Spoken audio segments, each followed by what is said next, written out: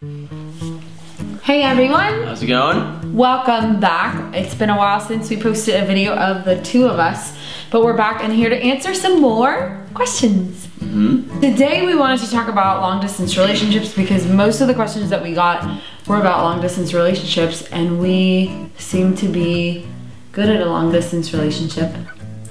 I guess we passed the test. Okay, the first question was How did you and Daniel discern how much to communicate and visit each other as you were dating? well, I guess in our case, obviously, I think it depends on per, you know, what is the long distance. Obviously, you know, long is a relative kind of a thing. Is long 500 miles? Are you living two states apart? Or are you True. living, you know, nationwide? Or are you living like we were like actually across the world in two different continents? Obviously, we were stuck to different schedules. So I was still in school. I was in grad school. Em was, uh, you know, obviously traveling. That's how we met. Obviously traveling, you know, as her full time job. And so for me, I was on tight, um, you know, like pre-scheduled vacations and holidays and stuff like that that you would have off, you know, when you're in school and whatnot. So that was very easy to, to decide already. Okay, when are we going to see each other? Because there was, you know, not a lot of point when if I was in school and very busy for Emily to come and travel all the way across the world, and then you know I couldn't spend time with her. So we saw each other about every, I would say, what was a month, month and a half, two months, something like that. Two months, two and a half months. Yeah, about nah, not two and a half months. Yes. Really? Uh huh. Oh, that, that, that was long. that was a long time. Um, so yeah, we, We saw. We did it. Yeah. So we saw each other kind of regular, I guess, in long distance terms. Yeah. I mean, that's a long time. a. Yeah. This person asked, how, how do you discern how much to me- communicate? After we first met, we could only talk on Saturdays. Because I was in a job with our time difference where I couldn't talk to him all day at work. And then when I was off work, he was sleeping. So we Mm-hmm. Skyped on Saturdays, and that was it. We got to talk to each other once a week. That's true. That was like the first what two That was the first- months yeah. ish that Yeah. we knew each other. So you don't really discern how much to communicate. You just go with the flow of your schedule in your life. Yeah, but also the schedule in your life, and but also obviously the schedule that you feel in your heart. In a sense, Right. you know, you go with the flow because obviously, if you're really attracted to someone, uh, you know, you want to spend time, you want to be in contact with that someone. Um, but it's good in, in any relationship, being a long distance relationship or you know a quote unquote normal relationship where you're you know living up too far from each other or whatnot, is that you you know have that normal. You know, you don't want to be over eager. Hey, every single minute, Like what are you doing? by your relationship. Yeah, exactly. You gotta go out and live your life. Exactly, yeah. Long distance relationship, normal relationship, anything. You have to be your own person, do your own thing. So we were talking to each other 24 hours a day? No. We were living our lives and having our relationship as part of our lives, but not consuming our entire lives. No, but so I think it's very important to not be over. You're gonna think, hey, what is you know, you know, when do we go? When are we gonna go do something or? Or know- when are we gonna talk? Like he's out with his friends. I'm so Yeah, annoyed. exactly. I want him to talk to me. You gotta just be relaxed. Exactly. You gotta be relaxed about it, and you gotta know that hey, this is something that we both want. What about cost of transportation? So cost of transportation, I think it's good for when you guys are just dating to for the guy, you know, to pay if you're doing long distance for the guy to pay the guys and for the girl to pay her girls things. Yeah, when, when you just start just off dating.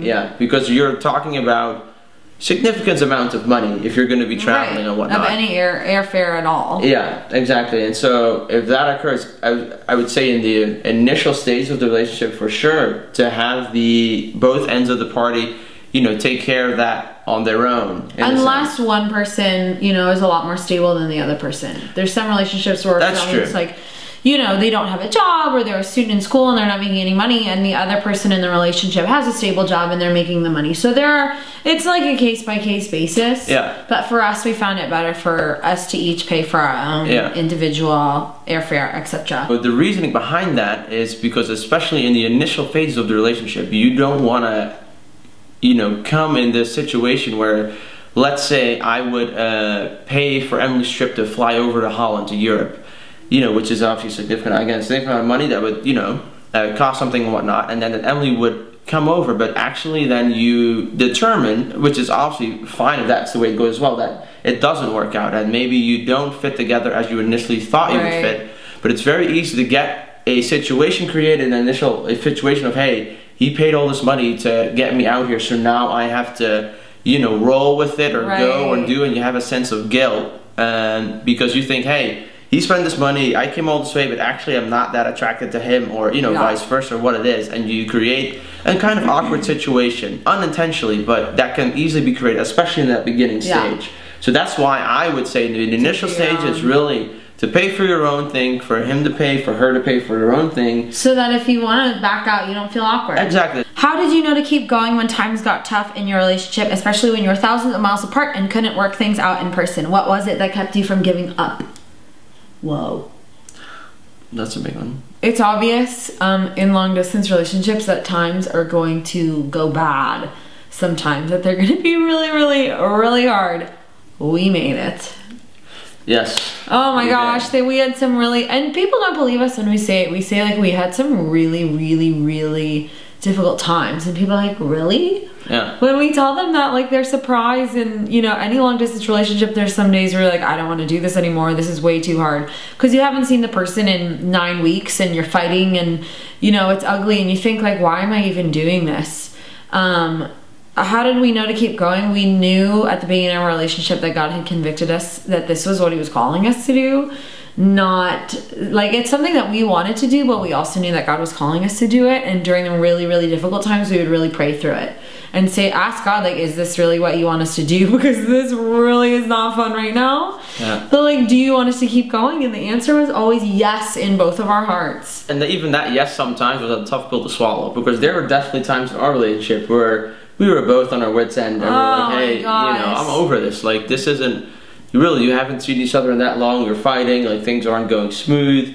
You know, there's just hiccups in life in general. And you kind of think this is ridiculous. How could this ever work? Like, how Exactly. could we really ever get married? Yeah, and then you think, oh, let's, you know, now that you're together, you can sit down in the same room, you can hold each other's hand, and you can just, Yay. again, yeah, you can, you know, now you don't have to say anything, and you, you know, you can work it out in that way. But being on this, again, you're constantly on the phone. You're, you know, you're praying Skype doesn't freeze up to five pixels on your screen, and you, you know, you don't have a normal conversation and things like that. Yeah. But you really keep up you know, you, you know that you want to keep going because you have that middleman, Jesus, there to rely on. It's Emily and I, and obviously Jesus is the center of that, right? So when times got rougher, Emily and I didn't get along. I could go, you know, to Jesus as the middleman and say, hey, you know, I don't, this isn't going well, you know, um, we're both, you know, struggling here. What do we do? And, you know, Jesus would be the middleman and would say, hey, you two love each other. Yeah, keep going, keep pushing forward, you know.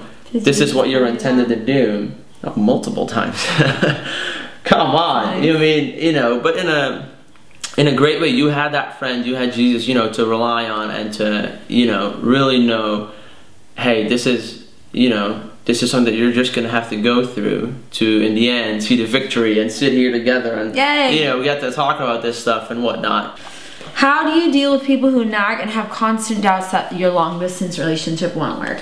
First of all, your relationship is between you and the other person. It's not between you and Come this on, person preach, and babe. that person and that person true. and all the other people around that are, you know, thinking that they're a part of your relationship in some weird way, shape, and form, but it's not. So first of all, first things first. I'm you gotta- realist. Exactly. You gotta, you know, not let other people a you know interfere with what you're doing and what you know God's will is. Obviously, this being said, like in a good general, you know, you're thinking clear, etc., etc. I'm not talking about some unhealthy, you know, something in that way, shape, and form. Good point. I myself was one of those people. I, I, I wasn't in, you know, for a long distance. But why would I do that? Why would I, you know, want to date this girl around the world? Well, you know, it's way more fun to have an, person yeah, have a, see the person in person, go to the movies, you know, go to go out to dinner, go do fun things together. Listen to music, sing Exactly. songs, Have fun, have dance parties. All right, you know, you're just going off the rails. Eat sugar plums. You know, the general perception is it's more fun to date in person, and I would agree with that. Like, I would, I would love that you would have just lived in Holland, and Wouldn't you know, that be nice? exactly, you wouldn't have to go through it. So I would say, you know, keep other people that you know have a negative impact more on what you know is right, what you're doing. You know, try to block those out and just focus on what Christ is calling you to do. And if that, you know, in my case, to pursue Emily, you know, just to keep pushing forward in that. Could you guys talk about a bit about the hard times you faced being in a long distance relationship and how you overcame them? Just The hard times is, was we had to learn to communicate really, really well with each other. which made paved very well for marriage, but we had to learn to say, this is how I feel. And this is where I felt like you let me down, or this is where I let myself down. Like, you really have to have a great self awareness about how you're feeling and be able to express that, which Uh, is really, really difficult. You have to learn that in long distance in order for it to work. yeah, there's definitely a lot of times where you have to, you know, swallow your pride, you know, be humble, and say, hey, you know, I'm gonna try and objectively look at the past scenario or situation or how I, how I reacted or you know what I thought the situation was, And put myself in your moccasins. and put yourself, you know, in the other person's shoes and see. No, no moccasins. Put yourself in the other person's shoes and see, you know, where they were coming from, and try to, you know, do that very objectively. And that's very difficult. If you see uh, something in a certain way and the other person sees it the other way, you have to find a middle way somewhere. And you know, you're gonna have to give on both ends. Otherwise, it's not That's gonna work. true. And so, you know, what we did in that situation was, yeah, we really forced each other to say, hey, you know, let's just stop this right here and see, try to go back. Obviously, and I would say, you know, obviously for women as well, for guys, obviously the thing, but women, you can very quickly get emotional about something, and emotions play a big factor. Call out the ladies. Exactly, and emotions come into play, and things can get a little, you know, wiggly woggly, and you really can't, you know, you really can't see exactly what was going on. But you really learn to grow, and I, I, I grew, you know, Oh, big time. We both grew big time, you know, just in a sense of now someone is correcting you, you know, in a justful way, and you have to, you know, take the critique and really learn from it and grow with it. Like any relationship. Yeah, and like any relationship. But You here, just can't hug after. yeah, exactly. It's just you know, nice emoji. You know, you get a thumbs up. Just kidding. Do you have any final tips for the people? Yes, I would say in any relationship, obviously keep prayer at the center, but especially in long distance relationships, because that's really when the times get rough. You need that center. You need that base to fall back on. Um, in order to, to have the strength to keep going. So Emily and I, we prayed from day one together and, prayed every single day together. Even though we were on a nine hour time difference, Yeah. that was the priority, especially on my end, the priority to really always put that in there. Obviously, you're, you're communicating a lot via these days. You know, you have FaceTime, Skype, Uh. Google Hangout. There's so many different channels where you can communicate on, which is very easy to do. You write a quick text, you write a quick, Yeah. you know, message, blah, blah, blah.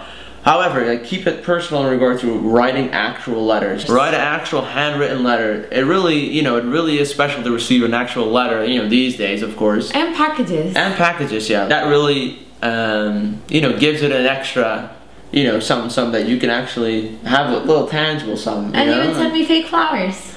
yes, because they would not Die go bad in the mail. Exactly. Yeah, and so I could find my fake flowers. That was really nice of you. Plus, they last a lifetime.